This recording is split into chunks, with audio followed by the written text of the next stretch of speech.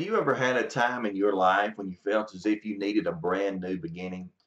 I have, and I'm certain that you have at times, especially when we fail and we falter in the eyes of God. If we wake up on that morning and realize that we may very well need a new beginning. You know, I'm mindful of the children of Israel, how it was the case in the book of Exodus, that they'd been in Egyptian bondage for quite some time. As a matter of fact, many of those people had both lived and died their entire lives and known nothing but bondage. But the generation there, numbering about 600,000 or so that remained there in Egyptian bondage, had now been able to go through, or at least endure alongside of the Egyptians, about nine of the ten plagues that God would send in order to have them to be free.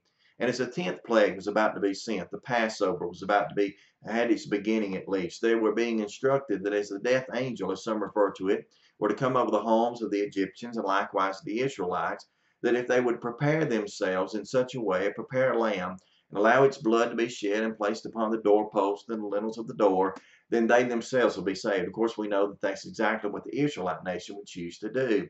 But I want to encourage you to realize that for them, that was the first day, or at least the first time, when their new beginning was about to take place. Let me read some scripture to you. In the book of Exodus, chapter 12, beginning verse 1, the Bible says this very simply And the Lord spake unto Moses and Aaron in the land of Egypt, saying, This month shall be unto you, watch this, the beginning of months, and it shall be the first month of the new year to you.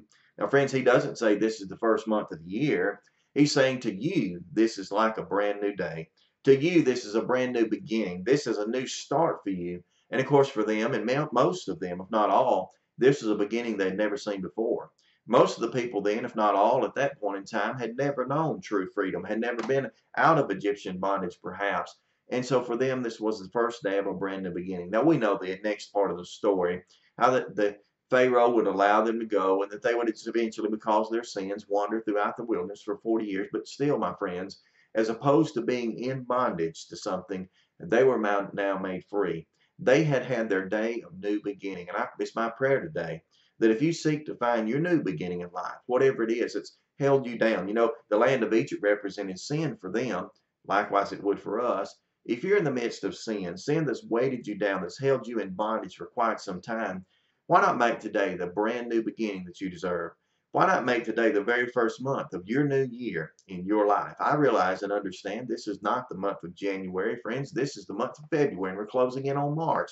But that doesn't change the fact that any day can be your day of beginnings. It's my prayer today that you'll go about and encourage others to do likewise because this has been your daily dose and it's meant that you would be encouraged.